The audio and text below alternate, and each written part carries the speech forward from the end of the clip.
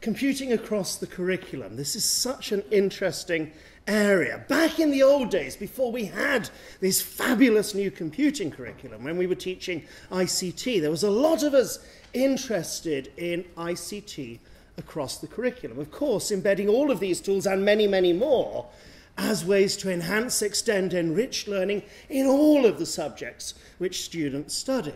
And there was even a movement to say we didn't need to teach ICT. We could, be, we could embed these so very effectively across the curriculum that our students would learn all they needed to do about blogging, about spreadsheets, about digital devices through the medium of other subjects. I'm far from convinced that that was effective back then, and I certainly don't think it would be effective now.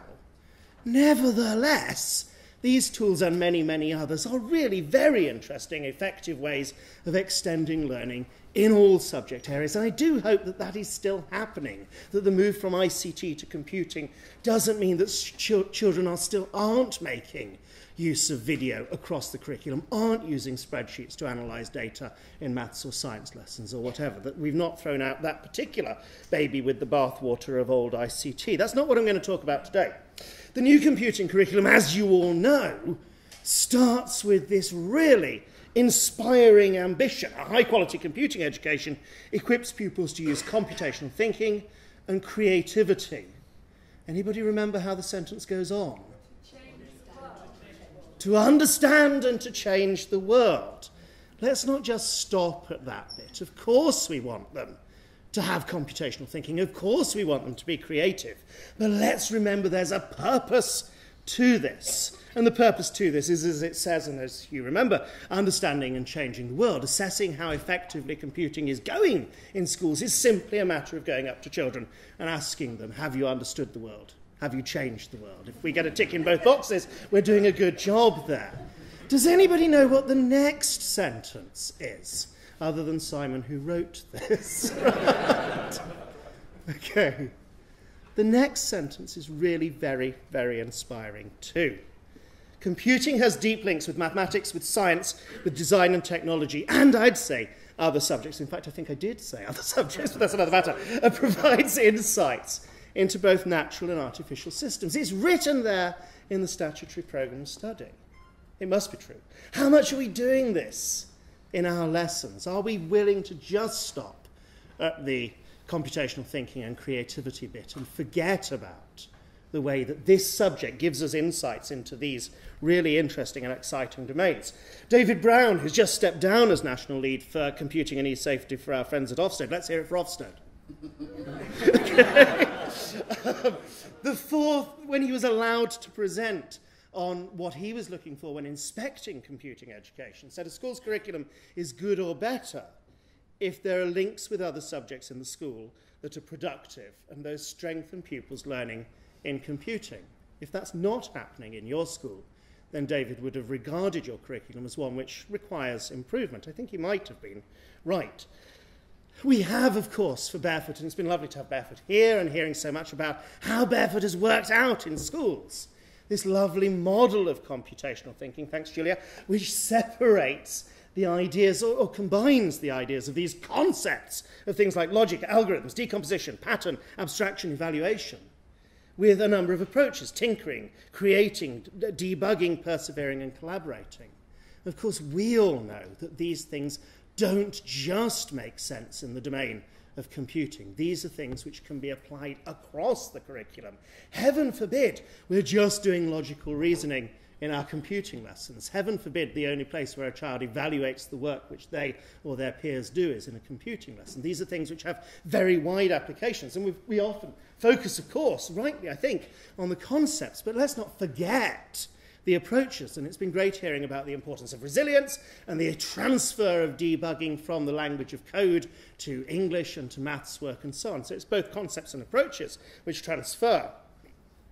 Of course, for Be- this starts even earlier than that, though. Barefoot was targeted at primary, but let's not forget the foundations of what we do in the early years foundation stage strategy. You have in development matters these characteristics of effective learning that a child, before they leave reception, should be creating and thinking critically, should be thinking of ideas, finding ways to solve problems, finding new ways to do things, making links, noticing patterns, making predictions, testing their ideas, developing ideas of grouping, sequence, cause, and effect.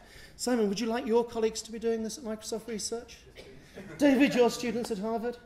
Yeah, I think so. Everything which we learnt about computational thinking starts with these foundations in kindergarten, in nursery, in reception. And good practice there should carry on through. What is good practice there? What does it look like? Children solving big problems, working collaboratively, children looking at objects and dividing them into classes. Okay, we maybe think of it of a different way round in some coding, but they're looking at the properties of these objects. You have children working collaboratively to solve difficult problems. I do worry, by the way, about the gender split in this bottom left photograph. Do you notice how the boys are doing the manual work whilst the girls take on a supervisory or managerial role? okay.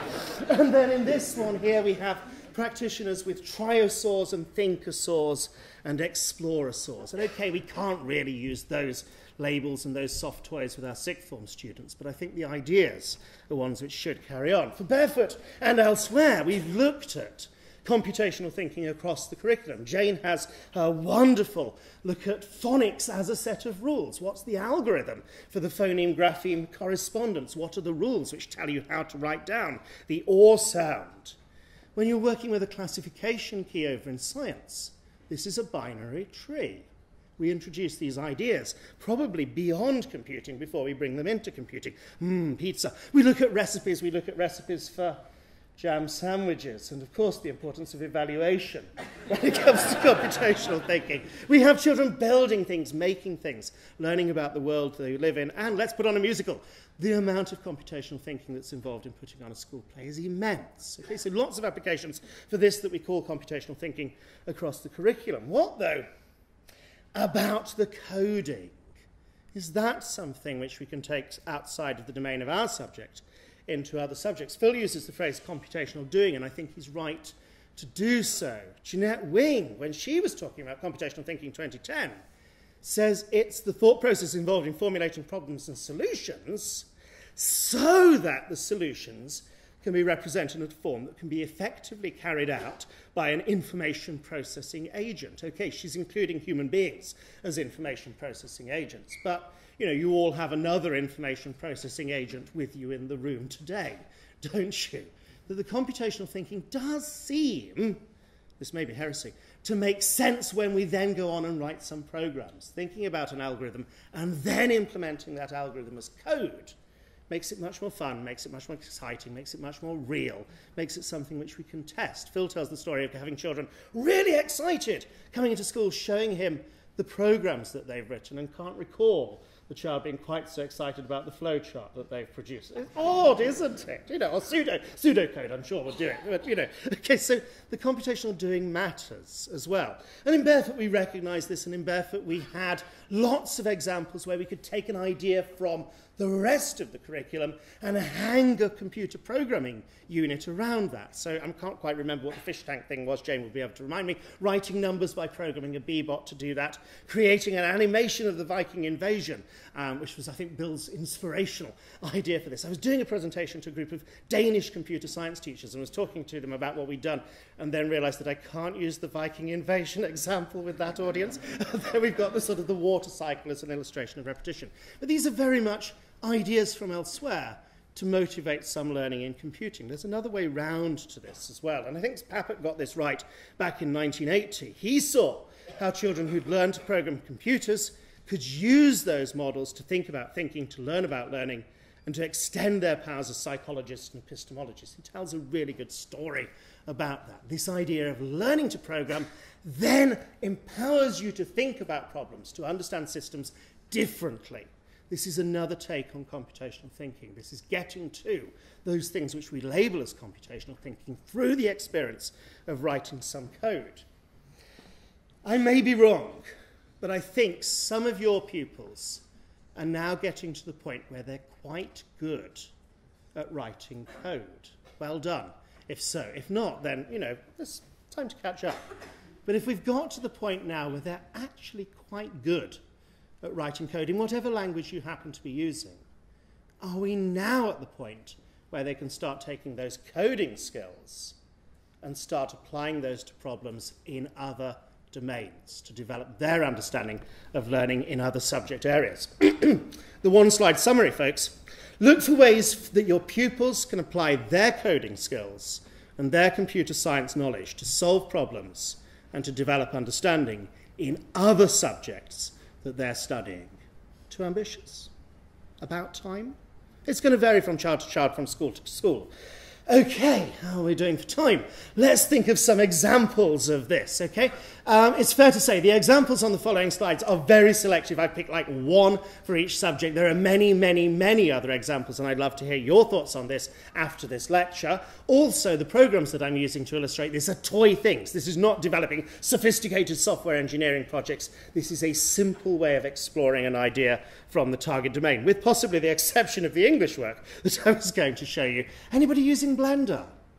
Blender is just fabulous. It's a scripted 3D animation package. This is another medium for a child's creative e expression. This is put together by a group of four sixth formers working together across, uh, across the internet to produce a digital animation using this 3D tool called Blender. And it has an entry for the CS, for the Animation 16 competition.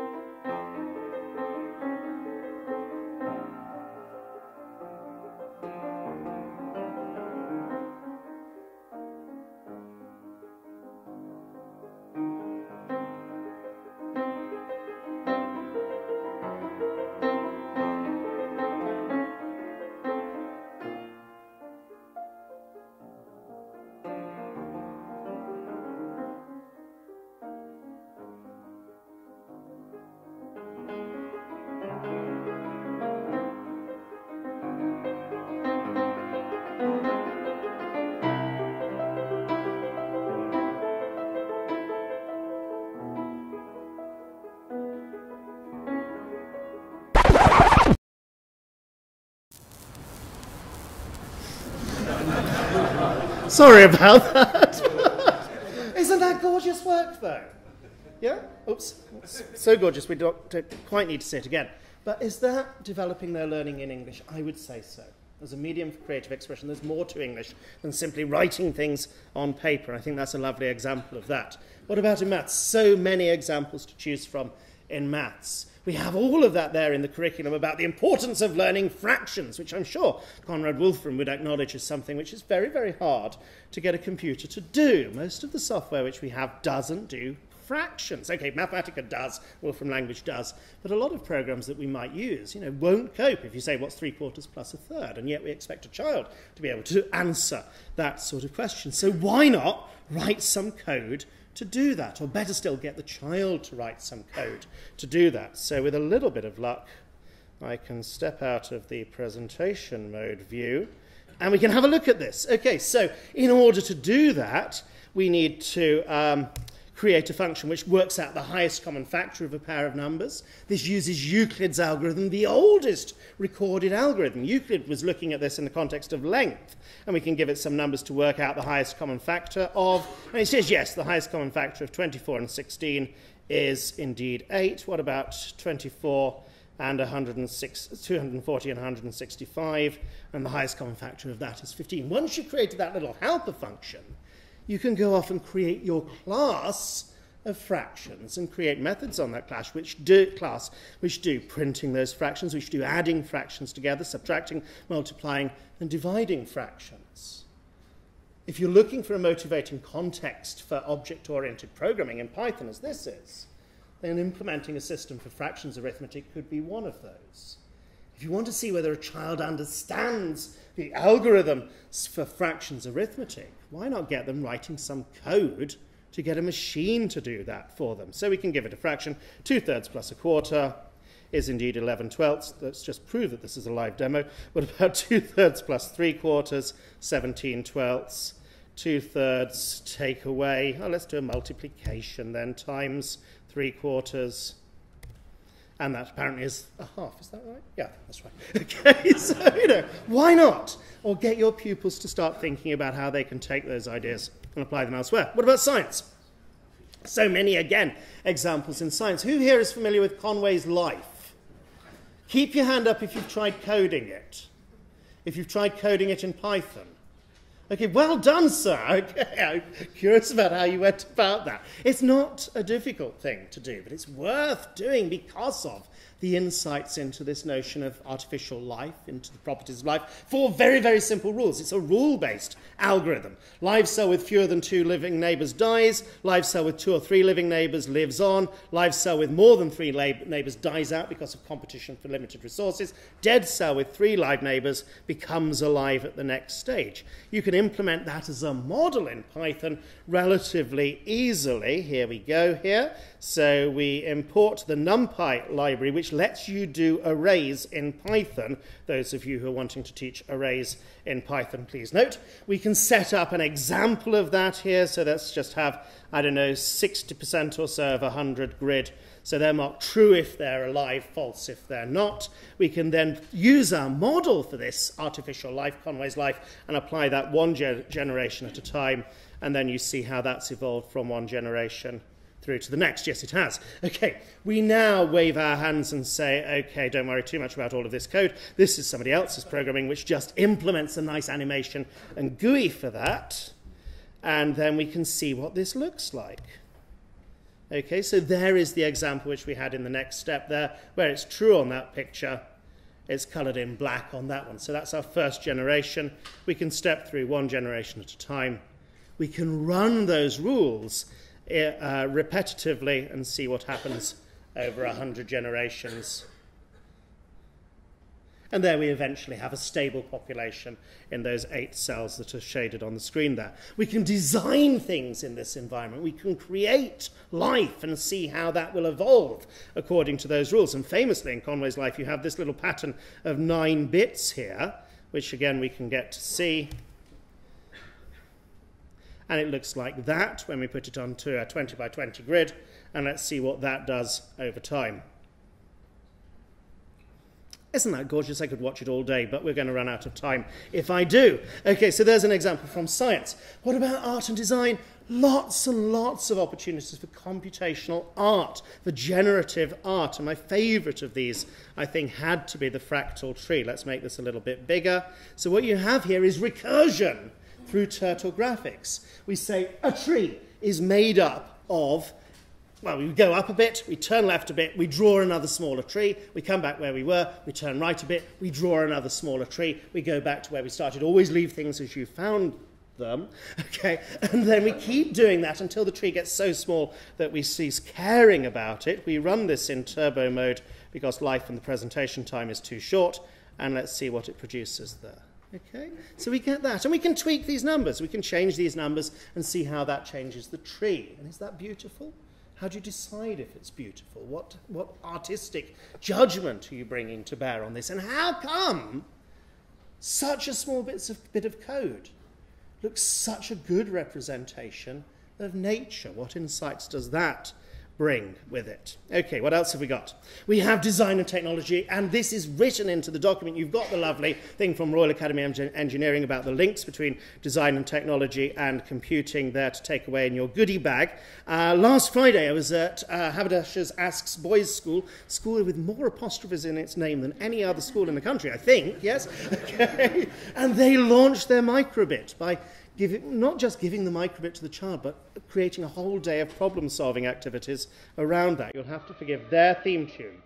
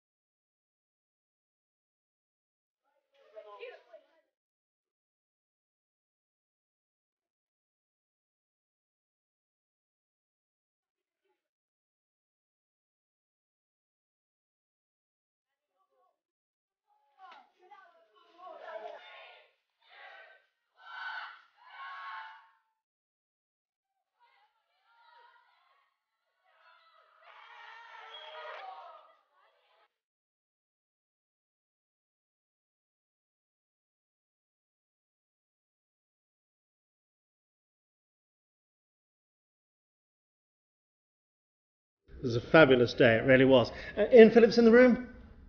Oh, okay. Uh, there he is. Yes, talk to Ian if you want to know how they went about that. It was really, really exciting day. Lots of other opportunities for um, design and technology links with computing. Foreign languages. We heard earlier about the importance of Latin in the curriculum back in the 1960s, 1970s. And of course, Alex Hope and Ian Livingstone talking about coding as the new Latin. Well, perhaps we've got to the point where Latin could be the new coding. I was really enjoyed Ben Davies' presentation where he hides the scratch blocks by applying a like Photoshop filter to it. What about coding in another language? Use the Scratch language packs to swap out into their, the language that they're learning. Anybody interpreted either the Latin or the Korean version of this and tell me what this program will do? New take on code tracing if you want one.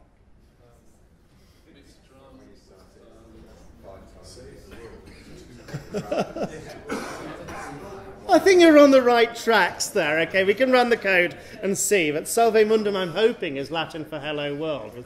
Somebody okay. okay. Links with geography, you can do lots and lots with looking at data in a geographical information system. We can also, though, do the lovely Raspberry Pi weather station project. Who here has got a Raspberry Pi weather station in their school? Oh, well done, you. We asked for one at Roehampton. Do you know what they said? Hmm. Okay, but at least you've got one. Are you doing anything with it yet? Yeah, yes, Evans, uh, we just put it up. He's set it all up himself, and uh, we're going to tweak the weather.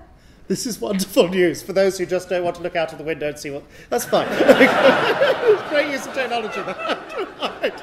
Okay, but we can look at the historic weather data, keep track of that data over a long period of time, and start doing some interesting analysis with this. Let me just reload the restart and clear out, but yeah, yeah, yeah, yeah that's fine. Okay. So we do a little bit of initialization. We read in a spreadsheet which I downloaded off the Met Office's website, which has historic weather station data for Heathrow going back as far as 1948.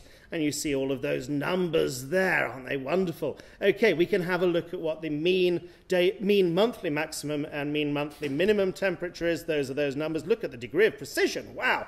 Uh, we can work out the standard deviation. We can get that plotted as a histogram. Now, if you've worked in Excel, no offense, Simon, doing a histogram in Excel, oh, it's not a pleasant experience. Doing a histogram here in the Pandas toolkit for Python, really, really nice, just one line of code. And there you get the spread of monthly minimum temperatures over those years. We can do a scatter plot comparing the sunshine with the minimum temperature. And surprise, surprise, sunnier months are warmer. Okay, feel free to tweet this. Okay. we could do a certain amount of data cleaning there, so just tidying things up. We can look at uh, the first few rows of that. We can find out what the weather was like back in 2010 this month. Okay, I'm sure that's very interesting. We can find out when the cold months are. What are cold months? Well, I'm going to call those where the, the average minimum temperature was below zero for the whole month and where or where the number of days where there was frost is more than half of the month, more than 15. Notice the Boolean operator coming in there is searching a database, really, isn't it? And you've got all of those months. We can look at how the maximum, average monthly maximum temperature, average monthly minimum temperature has changed over time, and there you get some charts. Okay, I was expecting more of a reaction there. okay. Can you tell? Notice, notice firstly that there's like a 12 month periodicity to this. Temperatures seem to go in a 12 monthly cycle. Who'd have thought it? Can you tell from looking at the chart whether there is any truth in this global, global warming thing or not? What could we do? Well, we could take a, an average. Let's look at maybe the past five years' average temperatures and do a rolling average of that and see what that looks like on a plot. And when you see it like that, average temperature over the previous five years, 60 months. And slight. Yeah, but it's a rolling average. So what I'm, the data that's plotted there is the average of the previous 60 months. Yeah. Okay. So that, that's smoothing the periodicity out from this graph, and you do seem to see some sort of trend line. Using our computer science, using our coding skills to learn something in another subject's domain, which is kind of the point I was trying to make here. Okay, you have in the history curriculum the opportunity to track one particular idea over a long period of time at both Key Stage 2 and Key Stage 3. What about the history of communication? What about the history of cryptography? linked to history. Take them on the trip to Bletchley Park, Bletchley, uh, National Museum of Computing. Absolutely fab places. But also, why not get them writing some cryptography code? So, what have we got here? We've got a number of little routines here. Let's just load all of those in. We've got something which encodes a message by just moving it along the alphabet or using a ciphertext alphabet which decodes it. We've got a thing which sets up a Caesar shift cipher, which is what they were using like 2,000 years ago for cryptography, which is just moving things along, along the alphabet a certain number of places. Then we have a much more sophisticated cipher, the substitution cipher, where we swap a letter for another letter of the alphabet according to some rules. So Caesar cipher with a one shift, A becomes B, B becomes C. Substitution number 123, using the random number seeds, would be that one. Let's encode hello world, and we get that, which looks entirely impregnable as a code. Absolute gibberish until you realize that each of those letters has just been shifted along one. We can take that with this entirely random substitution cipher and do the same sort of thing, and that looks an awful lot harder to code until you spot that all of the L's are coded exactly the same way, until you recognize that E comes up a lot in the English language, and then we can decode that. So, where do you go from there? What's a better cipher than either of those two? Well, there's this thing called the Vigenère cipher, which takes a keyword and does a Caesar shift cipher according to the letter of the keyword. And if you take a long keyword, you lose all of the periodicity from that. So you can try that as code as well. So take hello world and encode it using the this keyword. Oops, didn't initialize the functions. Do that again. And you get that out of it. Let's decode that using the same keyword and we get hello world back. If we got the wrong keyword, if rather than this we thought it was that, then we don't get the keyword back. Interestingly, you could probably guess it from the number of letters that we did get right. So with a keyword of four, not a particularly secure system. So lots and lots of opportunities for children to explore, children to experiment with cryptography and its history. Music, of course. Now, there are a number of people in the room who think it's really good to be able to understand code, to make logical reasoning, use logical reasoning to predict what a program will do. If I type that into Raspberry Pi, what tune will I get? Jingle bells, I like that, thank you. Sorry? Very good, thank you very much, Simon. There's one person able to do code comprehension here. We had trouble making the sound work earlier. Okay, no, I'm not going to be able to play it to you, and no comment on Brexit views is implied by this. Okay, what about P? Can you use code in P? Yeah, lots of ways. I'm wearing something which keeps track of my fitness at the moment. But you can also use the Kinect as a sensor plugged into Scratch and get children writing programs which they have to dance in front of the computer to use. Recorded in Scratch, as you can see, in full screen mode and our um, presentation mode. And the Scratch cat here has uh, gotten a new body and the joints are being controlled by me as you can see. Do you not think that's fabulous? Wouldn't that be great fun? Simon has walked to the front of the room, which suggests I have rather outstayed my welcome here. Right, quickly PHSE and citizenship. No code for this one. But it's worth getting your pupils to think through some of the issues which result from how code is used. For instance, if the British Library asked them what did they want for the future of the web, this was a year ago, 2015, anniversary of the Magna Carta. Look at the things which young people said and people voted on. Item 2, freedom of speech. Item 3, free from government censors in all country. Item 4, not allow any kind of government censorship. Um, item 6, be free from censorship and mass surveillance. The list goes on.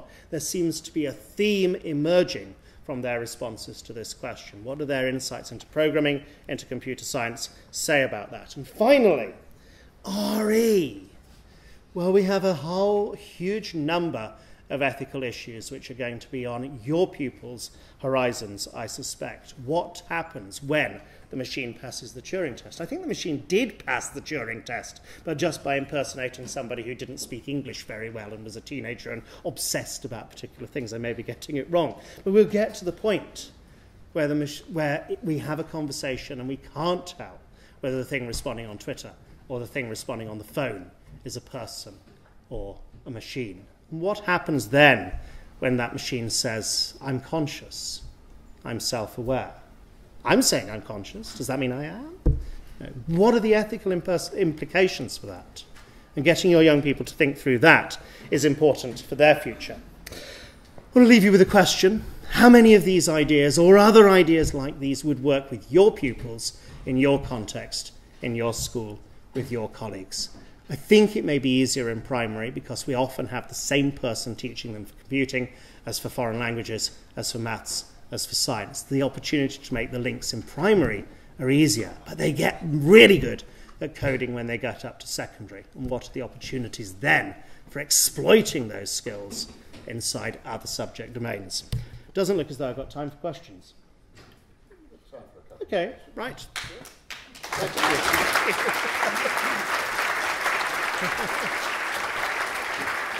you.